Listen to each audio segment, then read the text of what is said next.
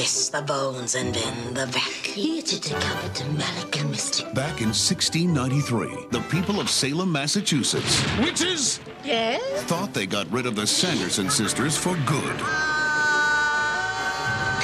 We shall be back! 300 years later, it's Halloween Eve, and they're back. We're home! Are you broads a little old to be trick-or-treating? You're talking about three ancient hags versus the 20th century. How bad can it be?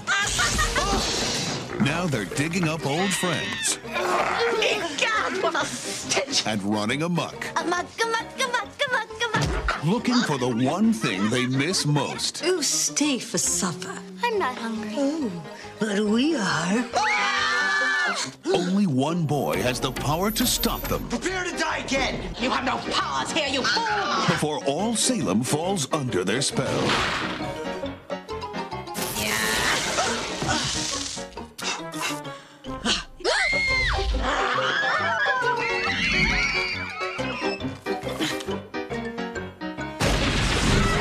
Walt Disney Pictures presents Bette Midler, Hello? Sarah Jessica Parker, Would thou dance with me? and Kathy Najimy. Hocus Pocus.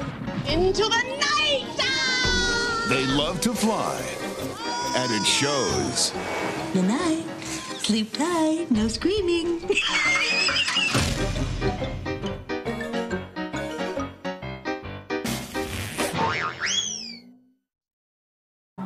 From Walt Disney Pictures, when three young friends opened a forbidden book, they let the cat out of the bag Nice going, Max. and brought three real witches back to life. We're home! But when it comes to witchcraft, Why was I cursed with such idiot sisters? they're a little out of practice.